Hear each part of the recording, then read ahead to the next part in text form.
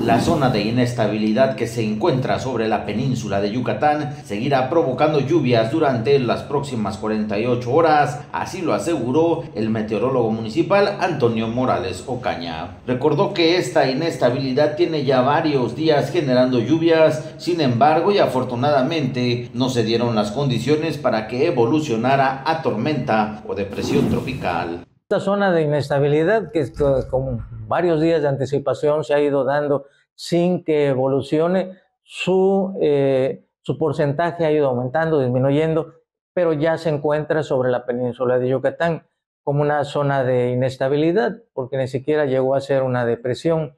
Este sistema está provocando la formación eh, y paso de nubes de desarrollo con lluvias y chubascos que en algunas zonas pues tiene cierto eh, cantidad de, acumulado.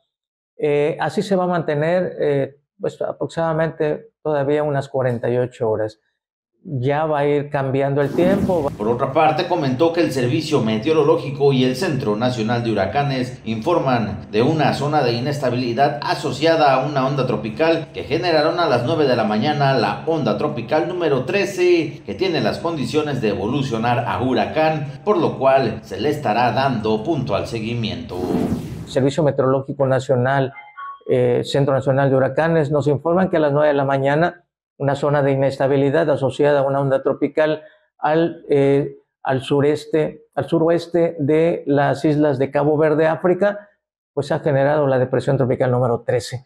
Este sistema, eh, desde que era una onda tropical, lo han fijado hacia el oeste.